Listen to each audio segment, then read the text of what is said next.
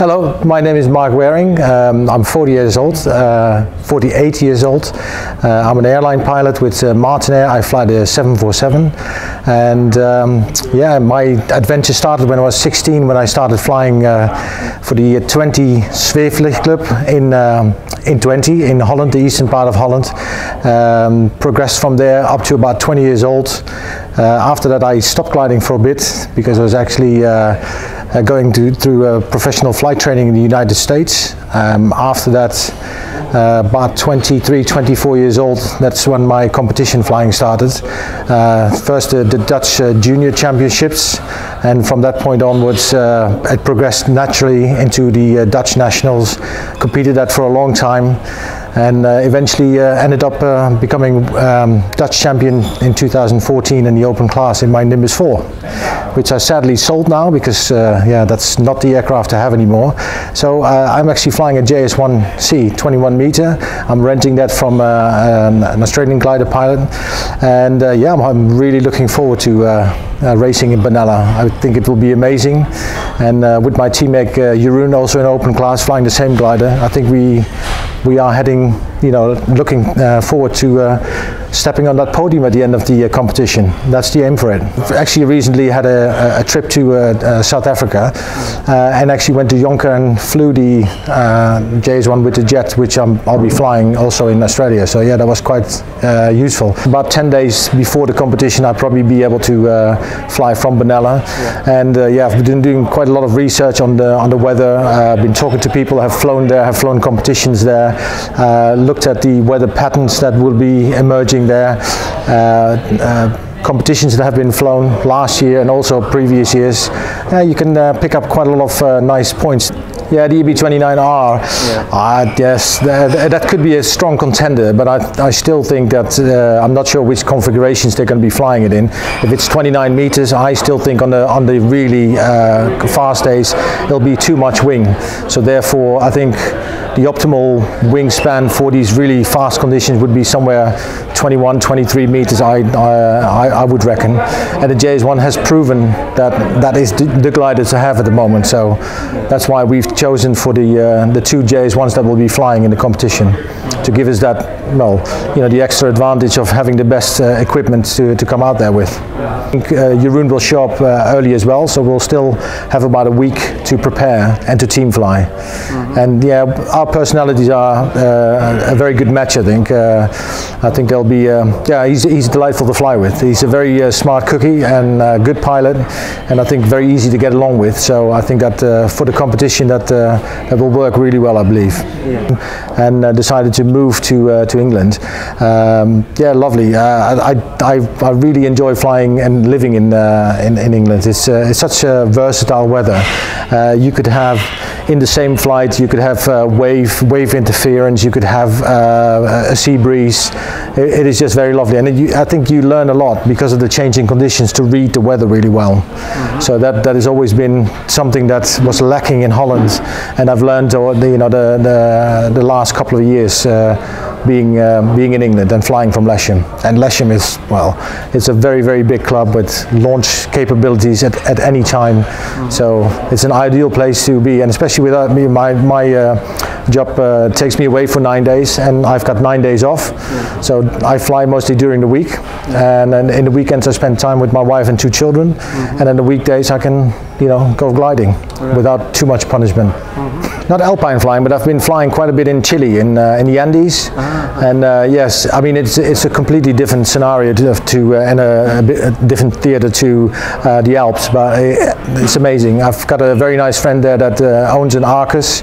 and I've been flying with him uh, quite a lot, and he's been teaching me all the little ins and outs from the Andes. It's it's very exciting because um, I I'm really looking forward to this. this has always been a dream of mine. I've flown one European competition um, uh, that, that I really enjoyed. Was in Lithuania and now flying a world championship. It's yeah we've been gradually going and uh, building up to this. And uh, at, at, this stage in my life I think I'm you know very very capable of really enjoying what I do. And I think the, the gliding is just uh, in, in Benalla in Australia.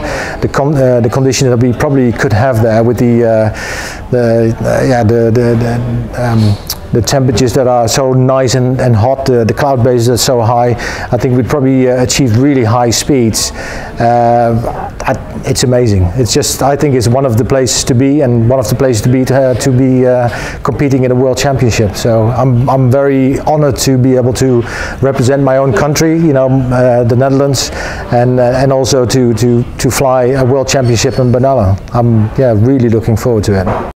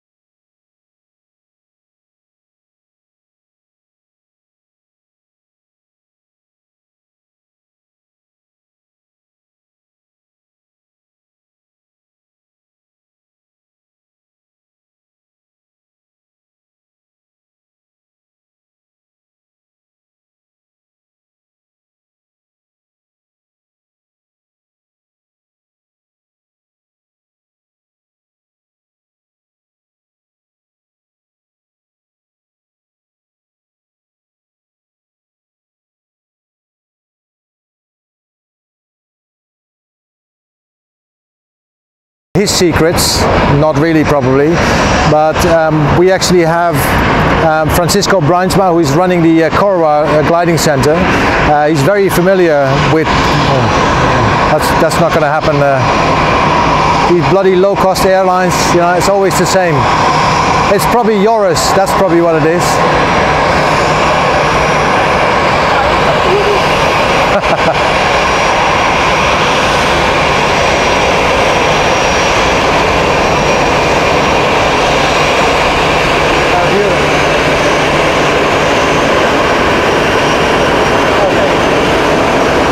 It'll take a while.